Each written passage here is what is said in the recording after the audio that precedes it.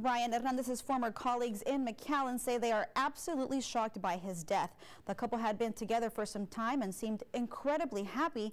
They bought the San Antonio home recently where their bodies were found. 25-year-old Valdemar Hernandez was an up-and-coming realtor at Coldwell Banker La Mansión in McAllen for about a year under the direction of broker Betty Garza. She knew him better as JR. JR is Valdemar. We call him JR. That's how, what he goes by. In November, Valdemar or JR left the company looking for bigger opportunities out of the valley. Garza tells us he and 39-year-old Eric Flork, both boyfriend and business partner, bought a house and moved to San Antonio. Saturday, the couple was discovered dead inside that very home. It's very sad.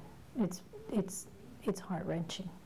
It's hard to believe um, because he was an awesome person. It was neighbors who discovered the lifeless couple in their bed, reports state, after their garage door had been unusually left open for days. New details from the San Antonio Police Department indicate Flork as the suspect and Hernandez as the victim, hence the possible murder-suicide. The report also states that a handgun was recovered from the scene. A neighbor told police she had heard two gunshots but thought nothing of it at the time. Anything that would have indicated anything like this ever happening to either of them? Never.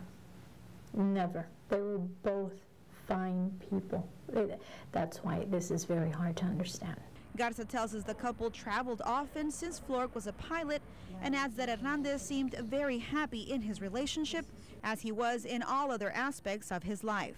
Always happy, um, always had a smile on his face, a very, very positive person, a big heart.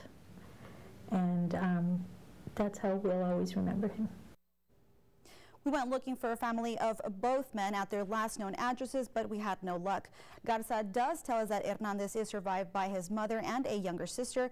San Antonio police would not say if their bodies have been released to family. In the studio, Daisy Barrera, Action 4 News.